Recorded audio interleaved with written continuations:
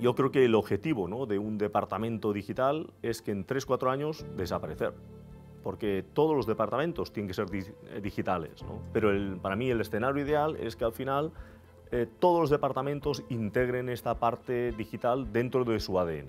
No sirve para nada tener un producto muy bien vestido si cuando rascas ese producto no está bien diseñado. ¿no? Entonces creo que es muy importante tener ese equilibrio. Ha sido una cosa muy lenta, poco a poco, que ya por fin está desbordando al mainstream, ¿no? pero que eh, ha sido un, un gran recorrido creciendo poco a poco. ¿no? Es parte de un salario emocional que, que, para nada es un gasto, sino al revés una inversión que va a afectar en el estado de ánimo de los empleados. Ha pasado el, el, el tema deportivo a introducirse en los barrios, o sea, la, la persona ya no, no, tiene que desplazarse, bueno, es el Smart Ciudad, todos los nuevos conceptos de, de, de descentralizar la ciudad. El sector del deporte en esta época de, del COVID se ha visto muy, muy perjudicada a nivel, de, a nivel económico y a nivel social, ¿no? con lo cual ahora mismo hay que reconstruir todo, todo ese déficit